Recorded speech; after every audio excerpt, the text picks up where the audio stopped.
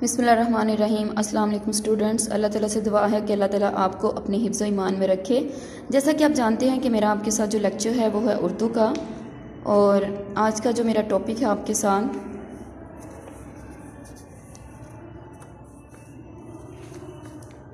वो है कौमी परचम के अदाम जैसा कि आप जानते हैं कि मैं आपको इसका इंट्रोडक्शन करवा चुकी हूँ, इसकी रीडिंग इसके वर्ड मीनिंग कंप्लीट करवा चुकी हूँ, इसकी कंप्लीट रीडिंग हो चुकी है, इसके कंप्लीट वर्ड मीनिंग हो चुकी हैं और साथ ही मैं आपको सेंटेंस भी करवा चुकी हूँ।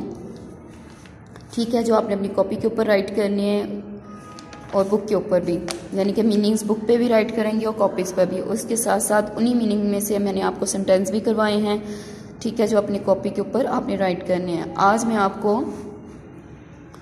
बुक वर्क करवाने लगी हूँ। जैसा कि आज चौदह जनवरी है और जुमेरात का दिन है। तो आज क्या होगा हमारा? टॉपिक बुक वर्क ठीक है बुक वर्क में देखें।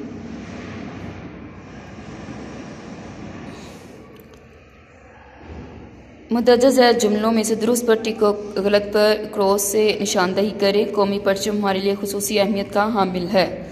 तो ये ऑप्शन क्या होगा? दुरुस्त होगा। छः सितंबर को स्कूल खुल रहे हैं।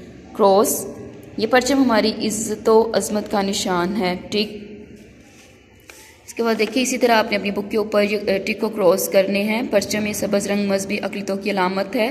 क्रॉस, कौमी परचम गुरूब आफ्ताब के बाद लहराया जा सकता है। क्रॉस, ठीक है? इसी तरह आपने अपनी बुक को ऊपर भी ये राइट करनी है। आगे फिलिंग द ब्लैंक्स देखें ज़िंदा कौमें अपने परचम का अदब एहतराम करती हैं, ठीक है? इन दो ऑप्शनों में जो दुरुस्त है, उस पर टिक लगाएँ और राइट भी करें कौमें, ठीक है? ये एम की सूरत में भी आपको फिलिंग द ब्लैंक्स आ सकती है।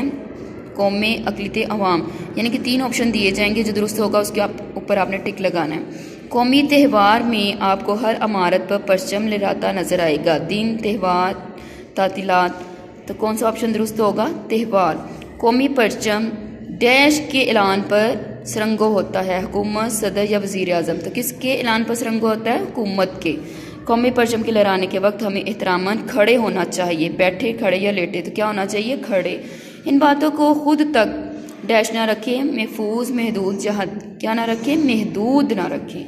ठीक है तो प्यारे बच्चों ये दो क्वेश्चन मैंने आपको करवाए हैं। एक तो आ, आ, गलत और दुरुस्त हैं दूसरा फिल इन द ब्लैंक्स हैं। हाफ़ वर्क बुक मैंने करवाई है क्योंकि इसमें आपके एमसीक्यूज़ नहीं हैं।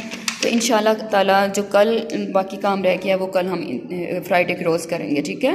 ओके लाफिज़ दुआ में याद रखिएगा, बहुत अच्छे तरीके से आपने बुक वर्क करनी है और इनके मीनिंग और सेंटेंस भी अच्छे तरीके से याद करें और अपनी कॉपी के ऊपर राइट करें।